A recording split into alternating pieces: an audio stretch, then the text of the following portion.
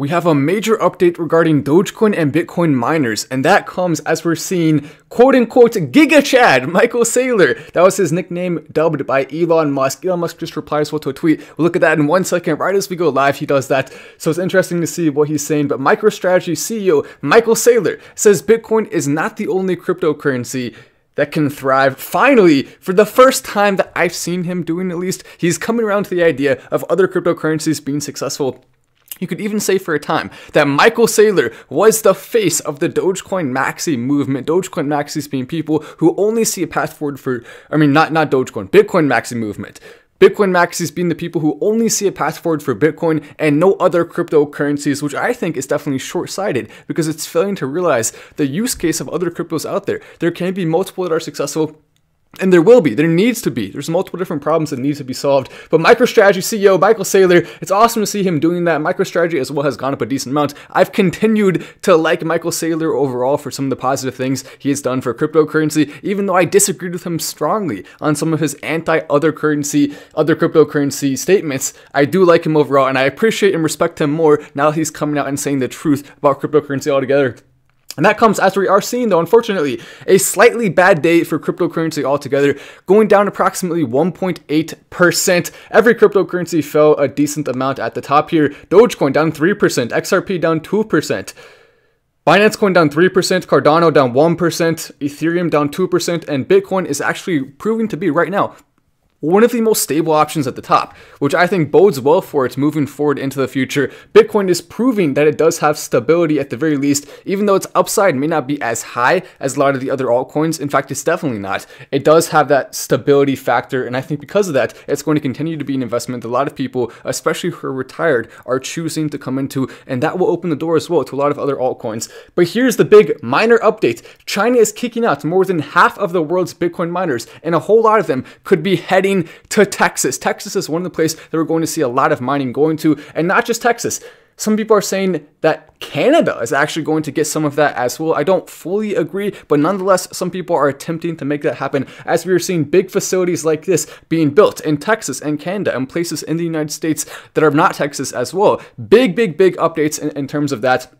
And the reason why Texas is being chose, chosen as one of the places is because of its solar panel potential and solar energy potential. As you see this map right here, you can see Texas is very much in the red there, at least the left part of Texas. The other part of Texas, not so much. It's a little bit harder to be using solar panel there, but solar panel is one of the big ones we're going to be looking at as a place where Bitcoin miners are going to start popping up, and Dogecoin as well as seeing some of that similar stuff happening as Dogecoin miners start to move to different places in the United States where the laws are more favorable toward cryptocurrency, unlike in China where they are to some degree banning it in different sectors of the economy. It's not fully banned there, but it is banned in a number of places. This right here as well is another thing people need to think about: wind capacity, and it shows the map of wind capacity in the middle of the United States. Places like Oklahoma, Nebraska are going to see a ton of wind energy, Bitcoin, and Dogecoin mining that are coming soon. I don't think it's it's fair to say that any one state is going to be the main recipient of this new mining coming in. It's going to be really spread out. And that right there is a great indication of that. As we see more people coming in with some some some interesting comments. Let's get Doge to twenty dollars. I bought AMP Someone, some, some people are arguing about AMP in the comment section there, and someone said to the moon. Interesting. You got some, got some good chats hopefully coming in, some entertainingness in the comment section, but it's going to be exciting as well to see countries and states start to race toward different environments that are going to be friendly toward cryptocurrency. One reason Texas is being chosen is because of its lower taxes in terms of business. And so any any state and country that is willing to put friendly cryptocurrency taxes in place and friendly laws in place for crypto. Texas at first was not as friendly. We, we led some massive movements as a cryptocurrency community and got them to change around on that. Now they're becoming quickly more friendly, and that's definitely great to see as we're seeing the governor there start to open up a little bit to it, which we like. Any governor, any state, if you're opening up to cryptocurrency, you will receive some favorableness from the crypto community from that. It doesn't matter who you are, definitely you should be doing that. Everyone should. If you're not, you're missing big opportunities for your state as you also see this article coming out from, from Yahoo Finance saying Dogecoin is the bad boy of crypto. And this is from a guy named Insane Funzi. He basically is writing this article, and I love parts of it. I also disagree with parts of it because Dogecoin is actually both the bad boy of crypto and the good boy of crypto at the same exact time. Pretty hard to accomplish that, but it's the bad boy in the way that it goes against the grain. It goes against what is generally considered to be the smart move here or the smart move there, at least in the public perception. We know behind the scenes, it has some of the best devs in the world behind it working on it. We know behind the scenes what Elon Musk is doing, but to the outside perspective, it's definitely going against the grain a lot, and we do like that part of it. But at the same time, it's the good boy as well because the community, all of us in the Dogecoin community, are especially going to be kind to people, nice to people. We will call out bad things when we see it. Being kind doesn't mean you can't say this is bad when you see something bad. You don't have to be nice to everyone all the time, especially if they don't deserve it. But it does mean that generally speaking, we help each other and we're friendly and we do good stuff. So that's something that's something that is the positive good boy side of Dogecoin as well. Final stand all day, every day, coming in from Matthew. I like that. And Miles says, Hey, Matt, thank you for all you do. Do you think Elon is going to go back to tweeting about Dogecoin and Bitcoin? Oh, of course. He absolutely will. He's already doing tweets about it right now. He's already doing tweets about it at the current moment in time. He's already liking tweets and doing stuff like that. And he's not going to stop anytime soon. He has no plans to do that. Otherwise, he wouldn't be so involved.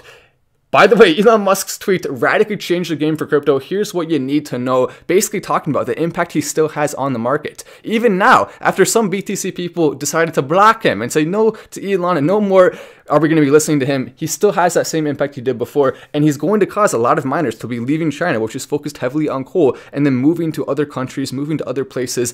I like that. I don't think China should be where we rely on our cryptocurrency mining to come from. It would be better to have it more across the entire globe, as we're also seeing Italy. They are right now raising concerns over unregulated cryptocurrency markets. Italy, what the heck are you doing? Stick to pizzas and pasta. What are you doing trying to regulate crypto to too high of a level? To some degree, we do want them to stop rug pulls and things like that, but this right here I think is going a little bit too far. What Italy's trying to do is basically ban certain cryptocurrencies they don't like and things like that. So Italy, get your act together. Not to be too mean to Italy though, because I we, we, we, lo- we love some of your some of your places there, Italy. Stocks making the biggest moves though after hours. Oracle, La-Z-Boy, Roblox, and more. We have seen them all going down a decent amount, despite still having some good fundamentals behind them. The first first example of that is Oracle, which has gone down approximately two percent, despite having better than expected results in the fourth quarter. Anyone that dips in terms of stocks, despite having good news coming out, is likely a buy opportunity right there. So I like Oracle. La-Z-Boy, a little bit less so. It has fallen some as well. Then H&R Block is the other one that I pointed out from this Ford list right here that I think has definitely potential. Revenue came in at 2.33 billion, higher than the expected amount of 2.32 by just a little bit, but it is showing upward trajectory. And also on top of that, the shares dipped 2% despite the earnings being higher than expected. So another one right there that we may want to be looking at, and that comes as we're seeing Dogecoin. It has been relatively stable for the last little bit, but if you look at the longer chart of Dogecoin, you will see some interesting things. So right here, I was covering this live. I remember this very vividly. A lot of us in the community do. Right here is when Dogecoin started to do some of its biggest spikes that we've ever seen. At least back then, percentage-wise, it still counts. We saw it going up, and then after that, people people right here were saying Dogecoin has no chance, and I saw the comments on my videos. There, it was a joke. I had no chance. I had no chance. Then it goes up. We see a crazy spike. Then for a decent period of time, approximately two months, we started getting a lot of comments starting to build up. The Dogecoin is done. It's over. We'll never see a spike again. A lot of people saying I'm selling my Dogecoin. When they did, some whales would then buy it up because it stayed relatively steady. And so some people, individuals, sold. And then after that, what happened? The big Dogecoin, big Kahuna spike that went all the way up to levels we had never seen before, and then continued with another level level of even that spike. So even right there, people are saying, I'm done with Dogecoin, I give up. Every single time you start to hear that, you do know that that is the best time to consider going into Dogecoin if you don't own any already, or if you don't own as much as you want to own. Always, it's been consistent in the past that that's the best time. Never underestimate Dogecoin under any circumstances. I tweeted that out tonight because it is in fact true. If you're underestimating Dogecoin, then you would not be the first person and you won't be the last. People will continue to do that. I'm not selling any of mine because we know the future is bright for it. And I'm not selling any of my Bitcoin either. Thank you for the chat as well. I heard Robinhood is delisting Doge. When when do you expect Doge to reach one dollar? No, they're not. Robinhood is not going to delist Doge. That is not true. They are actually working on listing more cryptocurrencies as well. But no, they, they would never do that. But that's who who told you that? Who someone someone is out there spreading misinform- disinformation. Best Dogecoin channel to get all the breaking news. And thank you, Matt, coming in from Philip. I appreciate that. Dogecoin, Bitcoin, cryptocurrency. This is the place to be. If you're not here already, come subscribe with notifications on. Don't even wait another second. You're not going to want to miss some of these big updates. Seeing them in real time can be extremely, extremely valuable. Miley Cyrus, by the way, this is an article that we're gonna have to roast right here because they are taking a joke way too seriously. What the heck are you doing? Time to pull out the roast music and get the roast underway. You did it to yourself. You could have avoided the roast very easily had you not done this, but you had to do it and you had to warrant the roast, of course. So now let me pull the music. And by the way, we're live streaming at 12 p.m. at night, and yet we still have a ton of viewers right now. So thank you for everyone coming and watching, even right now. We were going to go a little bit earlier, but there ended up being some extra research that had to be done on some of the solar panels and things like that. I wanted to make sure I had all the information first before going live. So there we go. It took a little bit longer, but hey, that's okay. We'll, we'll still get a lot of viewers after it is posted from tomorrow and the day after. But look at this. Miley Cyrus isn't happy Elon Musk revealed her identity while mocking Anonymous. Oh my gosh, what did Elon do? Did he secretly reveal that e that Miley Cyrus was a cyborg or an alien from another planet? Oh no, what happened? Well, actually, all that happened is Elon Musk just tweeted out a joke that Hannah Montana is Miley Cyrus. They, of course, hosted SNL together, so they have a little bit of a connection now. Then Miley Cyrus made a joke. Oh my gosh, Elon Musk, who I told you that in confidence, you can build a rocket, but you can't keep a dang secret.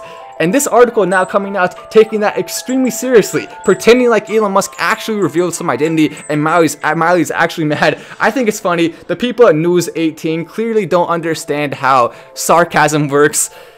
I don't know. Maybe they just don't like Elon. I bet that's really what it comes down to. But how can you write an article that silly and just think? I, I love it though. It's it's funny.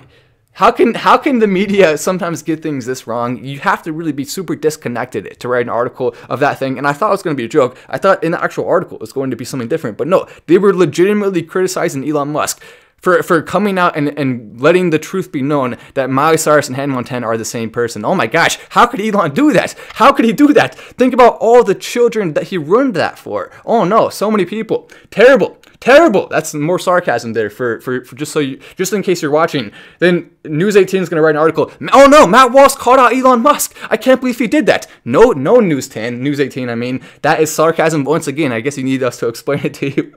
SpaceX ignored last minute warnings from the FAA before December December Starship launch. And to that I say, good job. Last minute warnings. If you're gonna do a warning, do it ahead of time. Elon Musk, SpaceX, they're careful enough. So get off their back, FAA.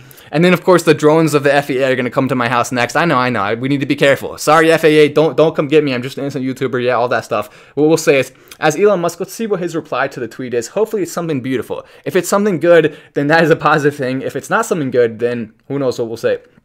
But Elon Musk also not that long ago, he liked a tweet talking about how Dogecoin is going to 0.001 in terms of transaction fees, which will change the entire game for Dogecoin forever. We've already many times touted on the show how Dogecoin's low transaction fees when compared to Ethereum and other cryptocurrencies at the top, Bitcoin included, already make it very competitive with those for transactions. Now it's getting even better significantly so, and that's going to be in part by making more the more transactions that are validated per, per minute, which I think is long overdue and not really that much long overdue because the price has gone up so fast. It takes time for these things to happen. So it's long overdue in a way, but also it's really right on time in another way because you can't really expect it to go at lightning speed. They, they're going fast, but just not that fast.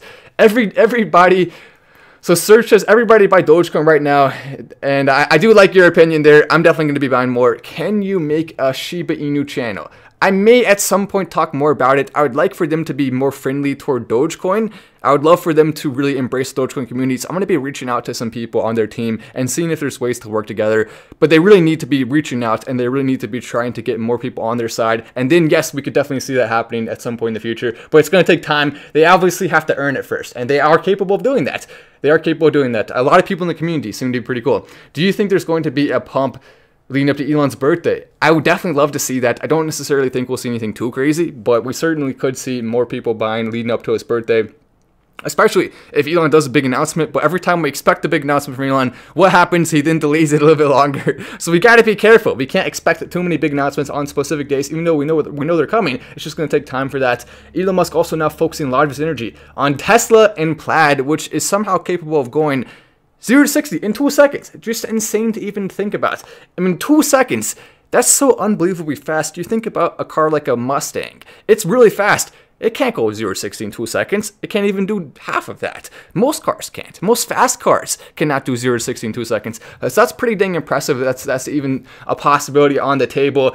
As Elon Musk continues tweeting about Dogecoin, liking Dogecoin tweets, this is the reply though that he did. New HVAC firmware coming soon that will make it quieter. I see. So apparently there was some cabin noise that opens and closes with that goes on and off with the door closing and opening. Interesting. So now they're working on that. I guess kind of cool. Not that big of an update, but it's something there. But yeah, this is the big one that Elon responded to. He also did laughing emojis to this. He's still staying up to date with Dogecoin profiles. He's still, I believe, probably looking at my profile consistently. He's looking at Shibetoshi's profile consistently. He's looking all across the internet at Dogecoin profiles, and that just shows you his level of intrigue with Dogecoin, it's high, as it should be. If it wasn't high, then what the heck would it be? It would be low, and that wouldn't be good.